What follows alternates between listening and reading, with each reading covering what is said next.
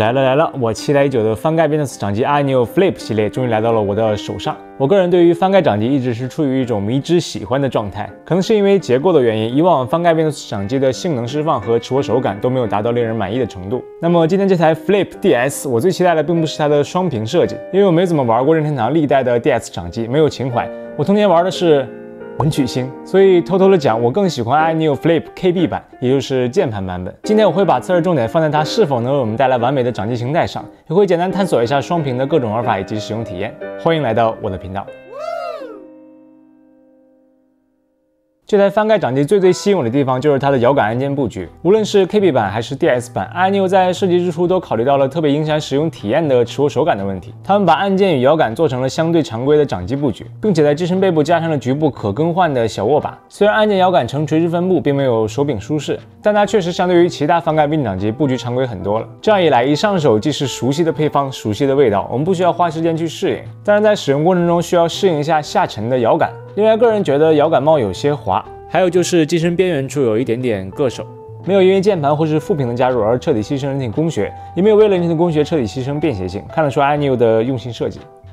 不过这样设计还是需要牺牲一些东西的，比如它的厚度，再比如它目测起来相对紧凑的键盘。另外它的重量也是来到了六百五十多克，不过重量大概率是因为电池容量与散热能力，甚至是副屏的加入而做出的妥协。虽然厚重，但是相比其他直板 Windows 掌机，它还算在便携的行列中。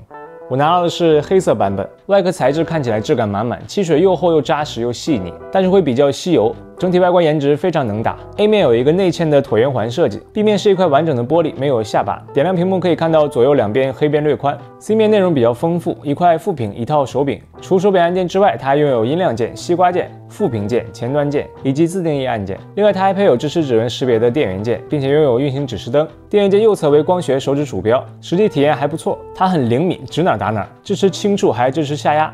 在 C 面下方边角处还有两个胶条，用于支撑屏幕。副屏点亮后很酷，但是论颜值呢，还是更喜欢 KB 的设计。地面比较简单，有轻微凸起的握把以及一个散热进风口，握把可以更换，是卡扣设计。出厂搭配的是有一点包胶的防滑握把，包装内还附赠了一套无包胶的握把。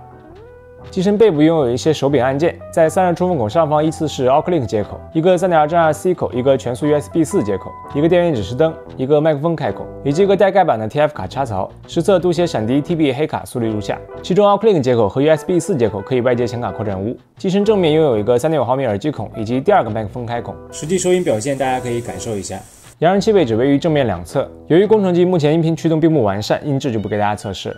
基本全程上下所有的 logo，包括按键，包括接口标识，都采用了高级感满满的凹刻工艺，而非印刷。总之，无论是颜值还是做工，都非常扎实。屏幕部分的转轴设计我也非常喜欢。上手之前我以为它是布置式多角度悬停的，实际上它是支持在任意位置悬停的。在可以悬停的基础之上，它为我们预留了三个最佳的悬停位置。在接近预留位置时，转轴会自动滑入。三个位置分别对应着桌面模式、掌机模式以及一百八十度模式。翻动阻尼感良好，感觉耐用性还是比较可靠的，但是不能单手开合。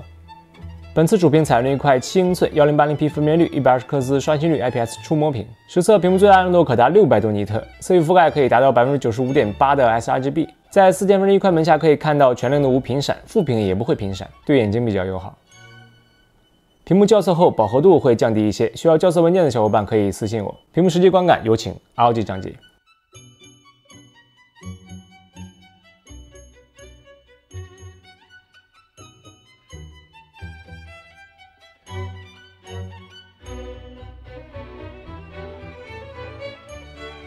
本次副屏采用了一块三点五英寸九六零乘六四零分辨率触摸屏，它本质上相当于电脑连接的第二块屏幕。我们可以选择只在副屏显示，也可以选择把它充当扩展屏等。iSpace 中有给玩家开发了一些玩法，我们可以把副屏直接变成 iSpace，在副屏中我们可以监控掌机的运行状态，可以对掌机进行一系列快速设置，也可以显示游戏帧数、快速开启应用等。后续厂家还会不断开发中更多玩法，玩家也可以下载第三方软件来开发这块副屏的用途。因为它本质就是一块扩展屏幕，所以自由度还是比较高的。当然，最适合它的应该就是 3DS 模拟器了。这方面大家可以去看一下国外大的测试。本人并不推荐买它来玩 3DS，毕竟 3DS 实际价格更便宜，体验也是模拟器没有办法媲美的。我找到的最佳使用方法是一边监工压榨帕鲁，一边刷视频。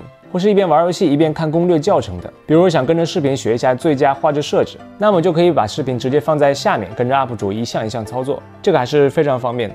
在副屏体验过程中，有一个小问题，大家需要注意一下，就是 Windows 窗口失焦问题。在我操作副屏后，主屏上已经打开的软件或是游戏会失焦，需要手动点击一下主屏，手柄才能继续使用。副屏左上方的副屏按键有多种功能，可以实现呼出 Espace 等操作。按键与摇杆方面与以往有些不同，为了配合翻盖设计，A B X Y 十字键都采用了微动按键，并且键程都非常短，感觉按键很薄，手感很清脆，反馈清晰。就是这个键程确实是非常之短。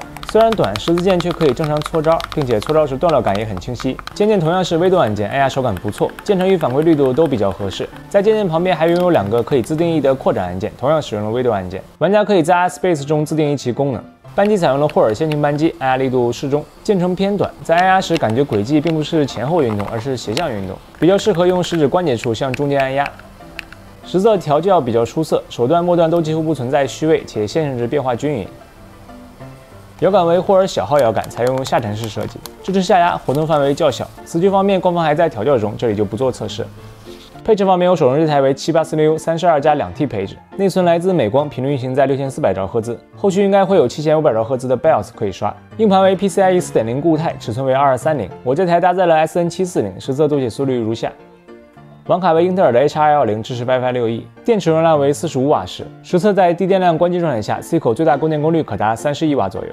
实际续航表现在游戏展示部分为大家呈现，各个 SKU 的价格大家可以了解一下。散热方面，阿牛有所堆料，他们首次为 Windows 掌机加入了 VC 均热板，那么效果如何呢？我们直接烤机。在 Space 中最高可以设置二十八瓦 TDP，我们直接拉满，进行与游戏场景接近的双烤测试。在室温二十六摄氏度左右，风扇自动模式下，手持 CPU 温度最终可以稳定在七十四摄氏度左右。如果是放在桌子上，CPU 温度会上升一点点。此时风扇噪音在四十五分贝左右。机身的发热情况，我们通过热成像测试一下，实测 A 面、B 面几乎不会发热，C 面右侧温控不错，但是左侧会有发热情况。在持握时，大拇指可以避开发热位置。二十八瓦是可以手持游玩的。整个 C 面最热的位置集中在副屏左侧。会突破六十摄氏度，说实话会有些烫手。地面握把区域基本不会发热，但是手指是可以碰到中间区域的，会超过四十摄氏度，有些温热。整个烤机过程持续了二十七分钟，可以稳定以上测试数据。整体散热水平还可以，核心温度不高，但外壳会感受到热量。手持游玩是肯定可以的，但是暖手宝避免不了。副屏也有些烫手，不过翻盖掌机能做到二十八瓦的性能释放，已经让我很满意。游戏性能与目前市面上主流 Win 掌机相同。这里给大家演示一些游戏画面，大家可以着重关注一下不。